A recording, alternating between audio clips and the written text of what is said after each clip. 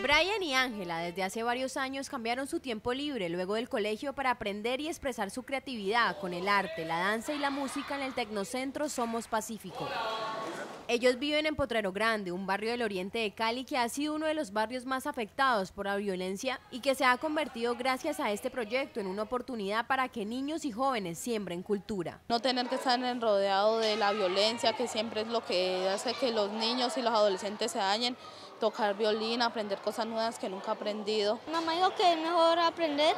y no es aprovechar el tiempo en la casa haciendo nada. Actualmente mil jóvenes se inscriben en los programas culturales que ofrece el Tecnocentro que ya cuenta con uno de empleabilidad reconocido entre los 15 más exitosos del país con una agencia de talentos y una campaña llamada el Club de Amigos Somos Pacífico que reúne fondos para esta labor. El monto de la donación no es importante, para nosotros lo que, lo que es más importante es que todos se sientan pertenencia a este programa tan importante para la ciudad. Este 17 de noviembre se realizará la gala benéfica en el Club Campestre de Cali para ayudar al centro comunitario que apoya los talentos de arte y cultura en una noche con artistas reconocidos y chefs del Pacífico colombiano.